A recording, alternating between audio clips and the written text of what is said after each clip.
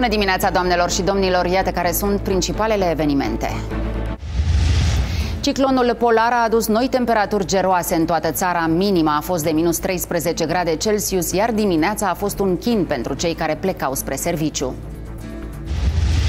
Ambalajele pentru cadourile de Crăciun au devenit mai scumpe decât darurile în sine. Cât a ajuns să coste o simplă cutie, vedem în jurnal. Iar legea bacșișului intră în vigoare de la 1 ianuarie. Tipsul va fi introdus pe nota de plată și va putea fi achitat și cu cardul. Valul de aer polar a adus încă o noapte de ger crunt în toată țara. Mercurul din termometre a coborât până la minus 13 grade Celsius. Mergem la colegii noștri din Brașov și București și vom afla cum a fost această dimineață pentru oamenii care au fost nevoiți să iasă din case. Ne oprim mai întâi la munte, la Adrian Jătăreanu. Bună dimineața, Adi! Unde a fost cel mai frig?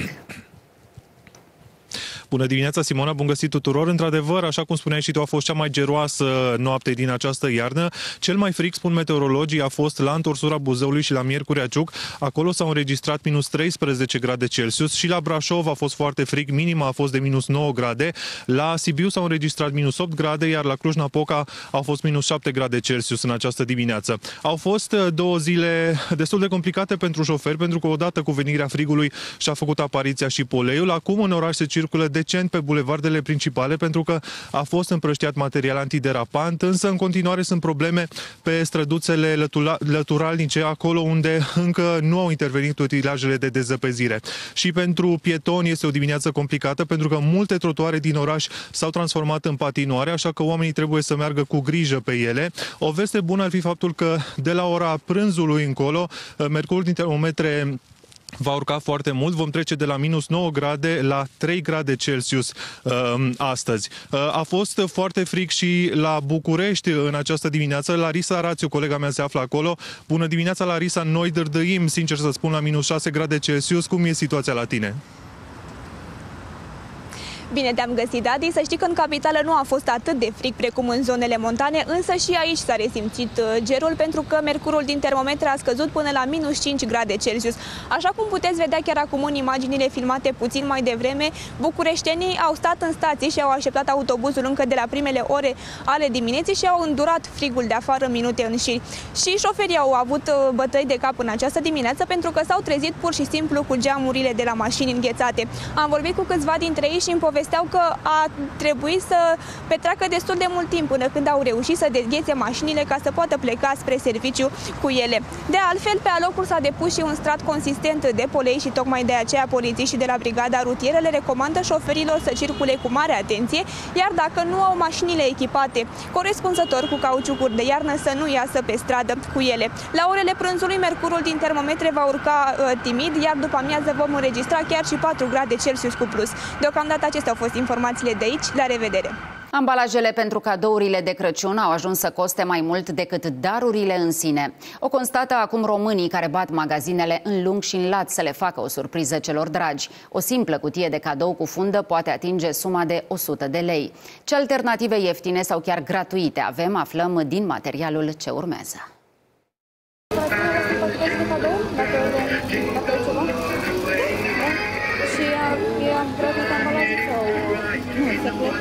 De lei. 50 de lei. Atât costă una dintre cele mai ieftine cutii de cadouri în această perioadă de sărbători. E drept, are fundă lucioasă, iar aspectul cu siguranță va umple de entuziasm pe oricine. Însă clienții se declară uluiți că tarifele pentru împachetarea darurilor sunt mai mari decât darurile în sine. 50 de lei pentru o cutie de cadou mi se pare scumpă. Da. da. Așa că prefer să-ți faci Da, da, da, prefer să le împachete singură și tot ok. Crește costul cadoului dacă îl și împachetezi la cineva specializat. Iar astfel de cutii deosebite în care putem pune un accesoriu, un obiect de îmbrăcăminte sau o bijuterie pot ajunge să coste chiar și 100 de lei. Cutiile de cadou au prețuri variabile între 7 și 96 de lei, 100 de lei în funcție de dimensiune și model. În general, pungile de cadou sunt mai cele mai căutate, atât în perioada sărbătorilor cât și în restul sezonului. Pentru că până și ambalajele au ajuns să ne usture la buzunar, începem să ne înfrângem stângăcia și încercăm să împachetăm singuri cadourile pentru Crăciun. Teodora, o tânără meticuloasă, ne arată ambalajele handmade total neașteptate. Aici, de exemplu, avem o carte pe care am împachetat-o într-un uh, prosop de bucătărie. Deci este un cadou dublu pentru că persoana respectivă poate să folosească și acest uh, șervet. Iar peste am făcut o fundă dintr-un material textil pe care îl aveam deja în casă. În astfel de situații trebuie doar să ne lăsăm imaginația să zburde. Aici avem o cutie de bijuterie pe care am împachetat-o într-un tricou pe care nu-l mai folosesc. Aici am o mănușă nouă și am să pun în ea un uh, mic cadou care încape foarte bine, iar la final voi închide această mânușă cu un mic cârlig de lemn. Dacă avem și crenguțe de blat prin casă, putem să le punem aici deasupra. Poftim. Însă, dacă tot nu ne descurcăm, putem alege varianta de a împacheta darurile cu folie clasică. Hârtie de împachetat, fundiță, punguță și o felicitare dacă doresc, pornind de la 7 lei până la 15 lei. În unele centre comerciale, ambalarea cadourilor este gratuită. Mai exact, dacă achiziționați produse de la magazinele centrului comercial, beneficiați în mod gratuit de ambalare, bineînțeles în baza bonului fiscal. Energia este tot mai scumpă, iar oamenii sunt copleșiți de facturile uriașe. Doar în ultimul an, prețul curentului electric a crescut cu peste 47%. Guvernanții au pregătit luni la rând o legislație nouă pentru plafonarea prețurilor, însă nu îi avantajează pe toți românii. Cei care stau în chirie sau care au mai multe locuințe riscă să plătească facturile la preț întreg. Această veste i-a revoltat pe oamenii care au aflat acum ce le-au pregătit autoritățile. Și eu am locuit cu chirie vreo șapte ani de zile și nu ar fi corect până la urmă, pentru că ei își plătesc dările la stat, plătesc un impozit la salariu și ar trebui să beneficieze de acest avantaj. Proprietarul, dacă stai să te gândești, plătește impozit pentru ambele locuințe, da? Deci, în acea situație, ar trebui să beneficieze pentru ambele locuințe. Noua ordonanță pe energie a ajuns cu greu pe masa parlamentarilor. Autoritățile au prezentat plafoanele de compensare, însă s-au strecurat mai multe modificări importante printre rândurile lungi și complicate din legea promulgată de președinte. Chiriașii, cei cu două locuințe sau cei care au vândut o locuință și nu au schimbat contractul de energie ar putea primi facturi de până la patru ori mai mari de la anul. Plafonarea se va aplica doar pentru locuința de reședință sau pentru domiciliul titularului de contract, astfel că ar trebui trimisă o cerere către furnizori până la finalul acestei luni. Cred că totuși chiriașul ar trebui să-și facă contract pe numele Principiul este îți dau un ajutor pentru o locuință. Asta a fost decizia ca practic și cei care stau în acele locații, dacă nu sunt proprietari, să aibă contract direct cu furnizorul. Autoritățile au stabilit prin lege limite de consum pentru a beneficia de prețuri plafonate. Până la 100 de kW lunar se taxează cu 0,68 lei pe kWh.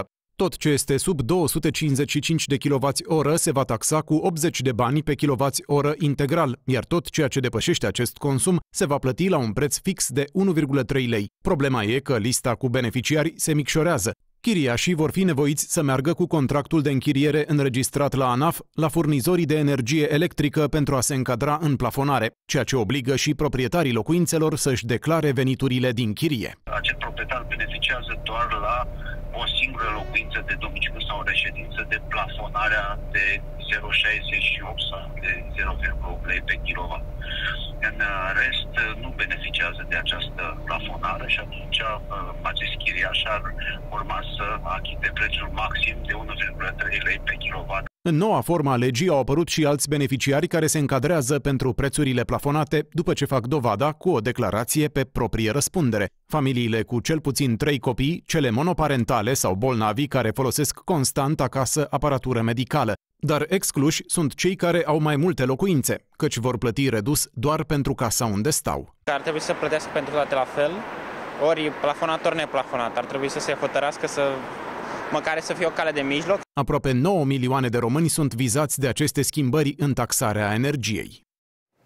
Bacșișul se va trece pe nota de plată și va fi impozitat de la 1 ianuarie. Camera Deputaților a adoptat o lege în acest sens. Potrivit acesteia, clienții vor putea decide cât vor să lase bacșiș, dar maximum 15% din totalul consumației.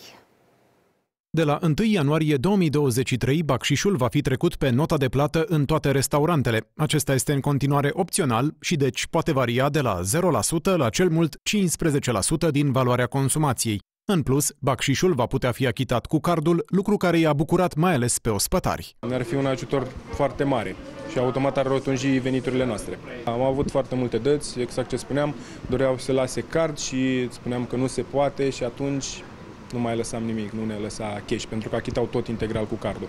Până în momentul de față, achitarea bacșișului cu cardul sau cu ordinul de plată era considerat ca fiind uh, venit salarial, ceea ce înseamnă că din fiecare 100 de lei lăsată bacșiș fiecărui ospătar, 55% ajungea ca și taxe și impozite în bugetul statului.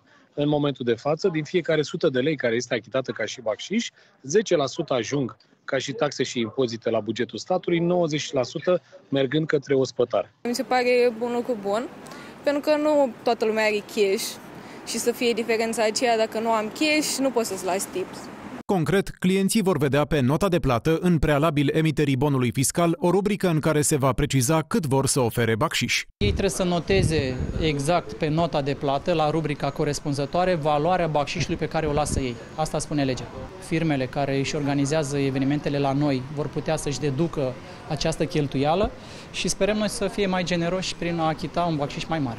E un pic de condiționare, pentru că acum nu știu, de exemplu, dacă aș uh, avea o, o comandă mai mică, la o sumă mai mică, cât aș putea să las? Un leu, doi lei? Fiecare persoană alege cât vrea să lase și e bine să se știe cât s-a lăsat. Mă gândesc că poate și între colegi Camera Deputaților a votat legea care definește bacșișul în calitate de for decizional. Nerespectarea prevederilor legale poate fi sancționată cu amendă de la 2000 la 4000 de lei.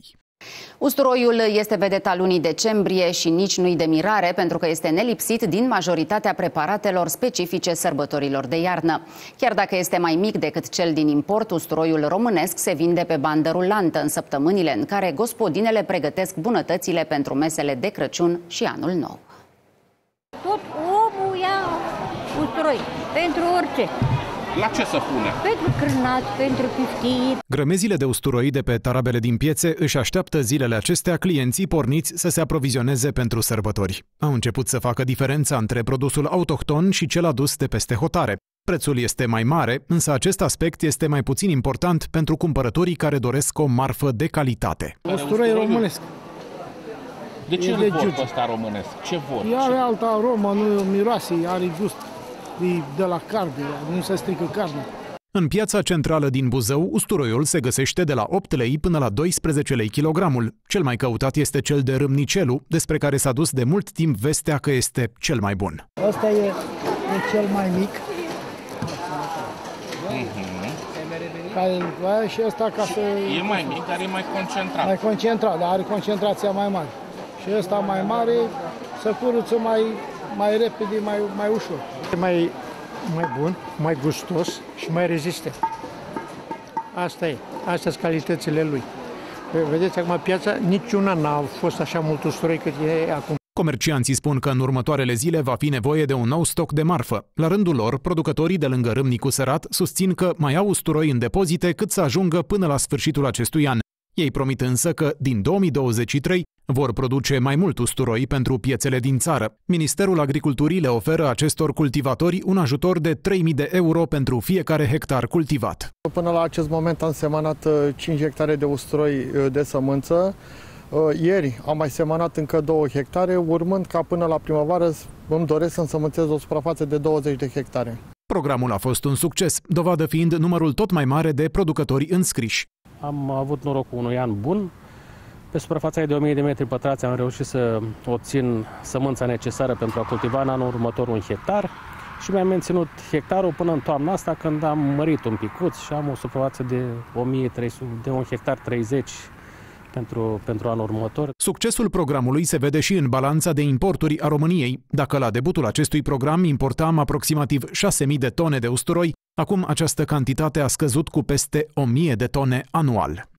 După ce aeroporturile din Marea Britanie au anulat zborurile din cauza vremii, acum Franța emite o alertă de călătorie. Parisul, dar și alte 33 de regiuni din nord au fost lovite de zăpadă și polei, așadar se pot înregistra amânări și anulări de curse pe aeroportul Charles de Gaulle. Colega mea Andra Ionescu vine cu detalii. Bună dimineața, Andra, te ascultăm. Bună dimineața, Simona! Bun găsit tuturor! Într-adevăr, sunt emoții și pentru călătorii care tranzitează aeroporturile din Franța. Ministerul Afacerilor Externe a emis o atenționare de călătorie pentru Paris, dar și pentru alte 33 de regiuni din Franța din cauza codului portocaliu de zăpadă și polei. Discolul foarte puternic va afecta cel mai probabil zborurile de pe aeroporturile Charles de Gaulle, dar și Orly, iar românii care au zboruri programate din sau spre aceste destinații sunt sfătuiți să verifice dinainte dacă zborurile le-au fost uh, amânate, dar și să vină mai devreme pe aeroporturile franceze, pentru că traficul va fi unul infernal. Aici, pe aeroportul Andri Coandă din Otopeni, sunt programate patru curse pentru Paris, care momentan nu suferă um, anulări sau uh, modificări, iar trei curse deja au decolat puțin mai devreme. În cazul în care românii întâmpină urgențe sau au uh, probleme în Franța, aceștia trebuie să ia legătura cu consulatele. Simona, momentan acestea au fost informațiile, înapoi la tine. Mulțumim, Andra. Dacă în anii trecuți alegeam brazii înalți și stufoși, acum suntem nevoiți să facem economii. Tăiem din lungime și căutăm cel mai mic preț. În acest fel, înălțimea bradului de Crăciun și prețul acestuia devin indicatori economici care ne arată criza din buget. Braz natural, din ținutul țării mocilor, crescut în pădure. Inflația ne scurtează bradul la propriu. Caută bradul mai mic și care e cel mai ieftin. Primul lucru, se uită preț. neapărat la frumusețe, nu? Nu, se uită la preț. În această piață din Timișoara, cel mai ieftin brad natural costă 50 de lei, arată așa și are 1,10 m și 10 înălțime. De 50 de lei e frumos cum e? E foarte bine, e bogat, uitați bine acum, este legat, dar e perfect pentru un apartament cu două camere. Scumpirile sunt ca un tăvălug și asta se simte inclusiv când alegem bradul de Crăciun. 50 de lei dacă îl cumpăr cum e el natural, după aia ca să-l îmbrac, mai vreo 100 și ajunge la 150. 50 de lei e mult puțin pentru un brad. Păi pentru mine e mult. Și în sudul țării, cumpărătorii caută în special brazii mici, mai rentabili ca preț. La Craiova, cel mai ieftin brad din piața centrală costă 60 de lei și are circa 130 de centimetri înălțime. Iulian are 300 de brazi aduși din Danemarca. A început să-i vândă încă de pe 10 decembrie, dar crede că cele mai mari vânzări le va face chiar în ajunul Crăciunului, la lichidarea de stoc. Ce e mai micuț, așa cu bani mai puțin, pentru că nu are lumea bani. Oamenii mai încearcă să negocieze. Mai încearcă, mai lăsăm și noi 10 lei, 15 lei la pom. Ne mutăm spre estul țării. Acesta este cel mai ieftin brad pe care l-am găsit în piețele din Iași și costă 50 de lei. Un astfel de brăduț care măsoară 60 de centimetri este o variantă pentru cei care nu-și mai permit anul acesta să se apropie de pomii de Crăciun cu ramuri bogate. Ideea nu îi încântă însă pe mulți. Am unul de plastic care ăla îl împodobesc în fiecare an cu aceleași globurele, cu aceleași... E pentru că e greu. E mult, e puțin. Cam mult. Cam multișor. Pentru care au bani și permit, poate da, dar la noi acum sunt părați, na.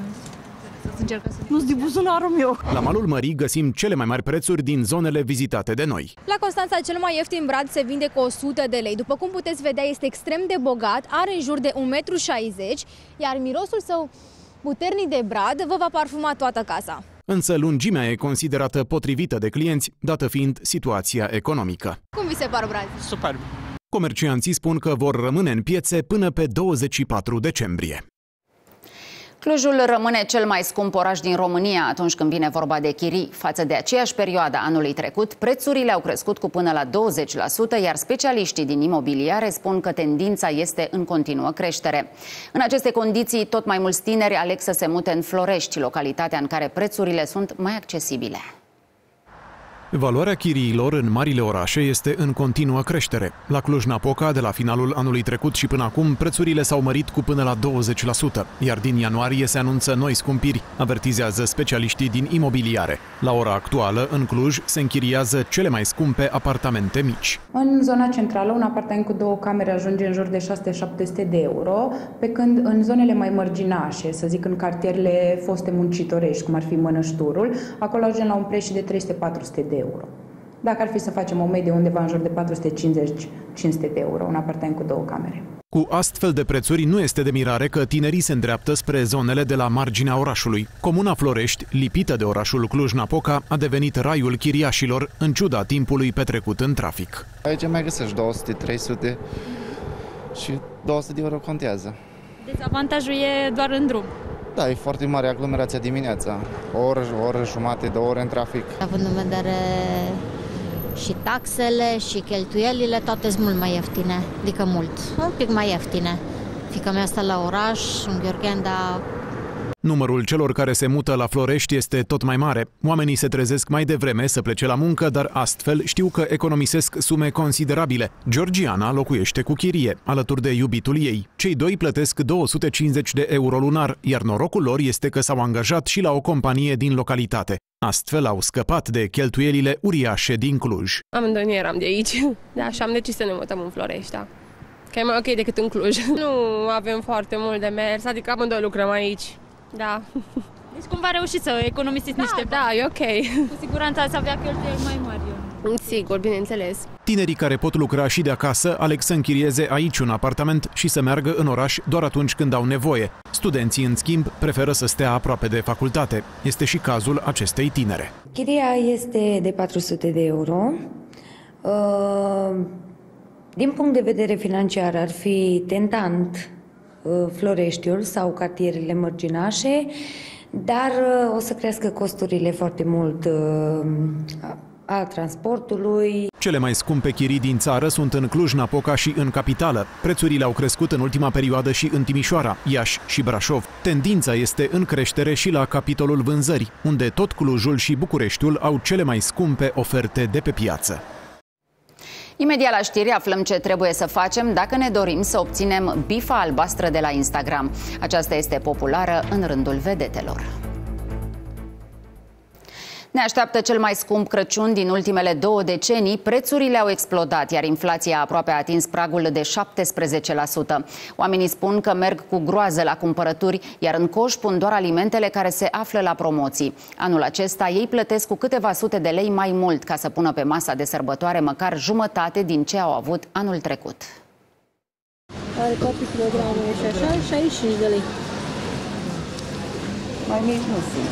Mai mici nu. Aceste femei caută de zor în vitrina cu carne de porc o bucată mai mică, să nu cântărească mult în buzunar. Nu vă gândiți că sunt cotlete sau pulpe, ci un amestec de organe de porc. Cea mai ieftină.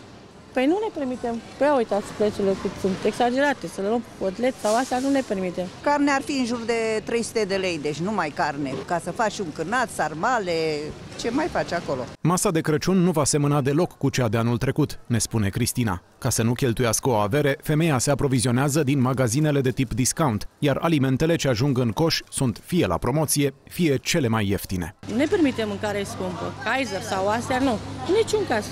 Trebuie să ce e mai ieftin. La cât vreți să vă limitați pentru masa de Crăciun? 5-600 de lei. Anul trecut cam cât a costat? Față de anul ăsta mai puțin. Inflația a atins în luna noiembrie pragul de 16,8%, cel mai mare nivel din ultimii 20 de ani. Grav este că cele mai mari scumpiri sunt la alimentele de bază. În vârf se află zahărul cu o creștere de peste 60%.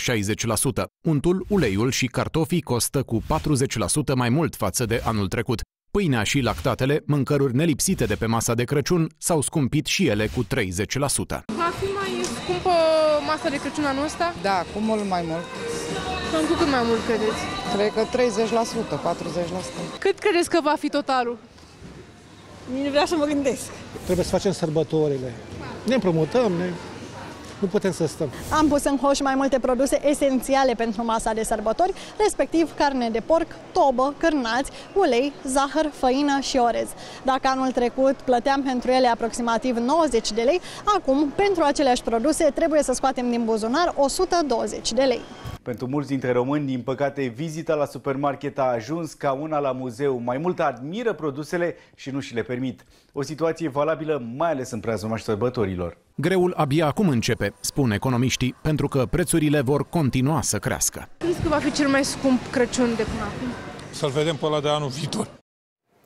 Se fac pregătiri pentru începerea sezonului de schi. Azuga este prima stațiune de pe Valea Prahovei, unde pârtiile vor fi deschise oficial în acest weekend. Și în Poiana Brașov se lucrează la amenajarea pârtiilor pentru că, în curând, turiștii să alunece în voie pe schiuri sau pe plăcile de snowboard. Pârtiile din munții Baiului s-au colorat în alb de câteva zile. Autoritățile din Azuga au profitat de vremea rece și au pornit tunurile care produc zăpadă artificială. Stratul de omăt se îngroașă cu fiecare oră, iar dacă frigul se va menține, în weekend sunt așteptați și primii schiori în stațiune. 20 de tunuri și 6 lăncii funcționează la capacitate maximă pentru înzăpezirea pârtiilor. Se înzăpezește masiv aici la baza pârtiei Sorica, un strat uh, cam de 20-30 de centimetri, proaspăt suflat, o temperatură de minus 8 grade, așa că tunurile vor dudui în continuare. Se lucrează intens, vă așteptăm uh, în număr cât mai mare. Este agitație mare și în Poiana Brașov. Cele 120 de lănci și 46 de tunuri de zăpadă au pornit încă de seara trecută, atunci când temperaturile au scăzut sub minus 4 grade Celsius. Administratorii domeniului schiabil încearcă să facă depozite de omăt, iar apoi o vor împrăștia pe pârtii. Este ora prânzului, iar în Poiana Brașov sunt minus 7 grade Celsius. Datorită temperaturilor scăzute, administratorii domeniului schiabil au pornit tunurile care produc zăpadă artificială. Aici, pe pârtia Bradu, sunt trei tunuri care funcționează la acest moment și ele vor funcționa la capacitate maximă dacă temperaturile rămân negative pe tot parcursul zilei. În sezonul trecut, tunurile și lăncile din Poiana Brașov au produs aproape 400.000 de metri cubi de zăpadă zăpadă artificială. Dacă vremea se va menține rece în stațiune, atunci pârtiile ar putea să fie deschise și aici în curând. Cei care au zeci, chiar sute de mii de urmăritori pe Instagram obțin bifa de culoare albastră care atestă faptul că profilul pe rețeaua de socializare este unul verificat. Și românii deveniți populari sunt interesați să aibă conturile oficiale la fel ca ale vedetelor. Cum obținem bifa albastră care ne oferă vizibilitate mai mare, ne spune colega mea Silvia Ceh. Bună dimineața, Silvia, te ascultăm. Bun găsit! Cei care vor să obțină bifa albastră care atestă un profil verificat pe Instagram trebuie în primul rând să trimită o solicitare. Acest lucru se face din meniul aplicației, selectând profilul și apoi funcția de Request Verification. Atenție! Trebuie să atașăm o poză a actului de identitate. O facem doar în aplicație, nu pe alte site-uri, pentru că riscăm să cădem în plasa hackerilor. Pentru ca cererea să fie aprobată, trebuie să îndeplinim o serie de condiții. Mai exact, avem nevoie de un profil personal personal cu biografie și o poză de profil. De asemenea, avem nevoie de notorietate. Asta înseamnă un număr mare de urmăritori, iar numele titularului trebuie să apară în mai multe căutări și inclusiv în articole de presă. Odată obținută această bifă albastră, contul este protejat de furtul de identitate, apare mult mai ușor în căutări și poate atrage un număr mult mai mare de urmăritori. Acestea au fost informațiile. La revedere! Durerile de spate și cele de genunchi sunt problemele cu care ne confruntăm tot mai des din cauza unei poziții incorrecte a corpului. Într-o școală din capitală, profesorii au adus mai mulți terapeuți pentru a învăța pe cei mici cum să stea corect în bancă și cum să prevină aceste probleme. Îi avem aici pe Olivia și Marius, cei mai curajoși de astăzi, care vor începe o evaluare somatofuncțională. Credeți că mobilitatea și flexibilitatea sunt noțiuni simple pentru micuții claselor primare? Ei bine, vă înșelați. Într-o școală din capitală, întregul colectiv al clasei a doua a fost atent verificat din punct de vedere fizic de specialiștii kinetoterapeuți. Un test pentru a vedea mobilitatea coloanei vertebrale, mai ales din zona lombară. Rugăm copilul să se aplece ținând genunchii întinși și să-și atingă vârfurile de la picioare. Câteva exerciții de întindere și încălzire au fost suficiente pentru a demonstra faptul că problemele legate de postură apar de la vârste fragede. Hai, mergi să-ți atingi vârfurile fără să îndoi genunchii. Da? În cazul domnișoarei, vedem că realizează acest lucru cu ușurință, pe când în cazul băiatului întâmpinăm dificultăți. Cele mai multe cauze care stau la baza dezvoltării unor afecțiuni de acest fel sunt chiar obiceiurile zilnice. Aducându-i cu mașina la școală, Uh, i-am luat de la școală, îi punem direct acasă cu tableta, telefonul sau la televizor, le reducem drastic nevoia de mișcare. În plus, cel mai important accesoriu al copiilor, ghiozdanul, este și cel mai periculos. Cărăm diverse obiecte grele, ghiozdanul pe care de cele mai multe ori îl purtăm incorrect, trollerele pe care le considerăm un ajutor sunt de fapt foarte greșite pentru că îmi rotesc coloana vertebrală. O evaluare corectă a modului în care stă copilul atât în bancă cât și la activitățile de zi cu zi poate fi salvatoare pentru dezvoltarea lor ulterioară. Tocmai de aceea, terapeuții îi învață la ce anume să fie atenți. Cei mai importanti receptori în postură sunt la nivelul capului și aceștia sunt ochii, da? urechile, articulația temporomandibulară, după care trecem la umeri, bazin și tălpi. Mișcarea fizică ajută la dezvoltarea mușchilor și implicit la poziția corectă a corpului, dar atunci când cei mici nu fac sport, câteva exerciții de bază repetate acasă în doar 5 minute sunt la fel de utile. Pe copii îi putem ajuta explicându-le, spunându-le cum este corect să stea, pentru că uneori nici noi, datorită faptului că poate nu am avut acces la o educație pentru mișcare, o educație pentru sănătate, stăm greșit. Cred că poziția corectă a corpului nu o învățăm nici până la vârsta adultă. De altfel, nici noi adulții uneori nu stăm corect. Dar e important să le reamintim de fiecare dată poziția corectă în bancă. Copiii petrec la școală foarte mult timp, 4, uneori chiar 8 ore. Poziția în bancă nu este tot timpul cea mai confortabilă. Nu orice copil are nevoie de kinetoterapie, însă atunci când părinții sau cadrele didactice sesizează o postură chiar și ușor incorrectă, este necesară intervenția unui specialist.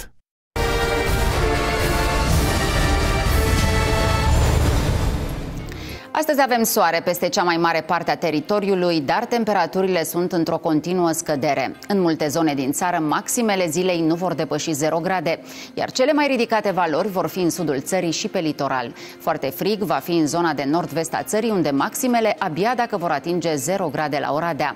În depresiune avem parte de vreme geroasă. La Târgu Mureș vom avea astăzi un grad cu minus. Mercurul va mai urca în termometre în jumătatea sudică a țării, unde maximele ating 4 grade în Giurgiu. La malul mării vom avea vreme plăcută cu maxime de 5 grade în Constanța și Tulcea. La această oră în București avem un grad cu minus, cu cer noros, mult mai rece este la Miercurea Ciuc, unde avem minus 5 grade Celsius. Frig este și în Bacău, unde la acest moment se înregistrează minus 2 grade.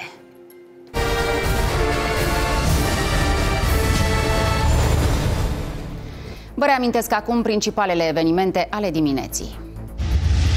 Ciclonul polar a adus noi temperaturi geroase în toată țara. Minima a fost de minus 13 grade Celsius, iar dimineața a fost un chin pentru cei care plecau spre serviciu. Ambalajele pentru cadourile de Crăciun au devenit mai scumpe decât darurile în sine. O simplă cutie poate să coste chiar și 100 de lei. Iar legea bacșișului intră în vigoare de la 1 ianuarie. Tipsul va fi introdus pe nota de plată și va putea fi achitat și cu cardul. Doamnelor și domnilor, jurnalul se oprește aici. Chiar acum urmează emisiunea Casa Iubirii. Sunt Simona Pătruleasa și vă mulțumesc pentru atenție. Ne revedem mâine tot de la ora 9. O zi frumoasă vă doresc. La revedere!